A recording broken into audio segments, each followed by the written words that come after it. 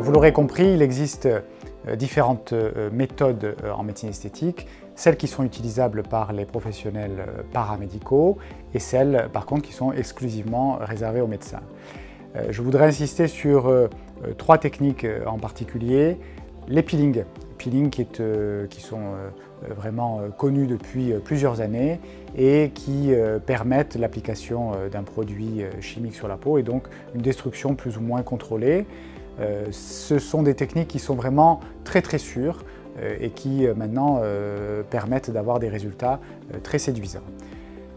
Deuxième technique, les fils tenseurs. Ce sont des petits fils mis sous la peau, sous anesthésie locale, euh, et qui permettent de traiter le relâchement cutané. Euh, résultat très encourageant avec euh, des effets vraiment lifting et sans la lourdeur finalement de l'acte chirurgical.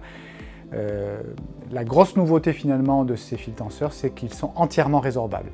par rapport aux anciens qui laissaient des petites cicatrices sous la peau, ces fils maintenant sont totalement détruits dans un délai plus ou moins variable avec un effet vraiment liftant très, naturel.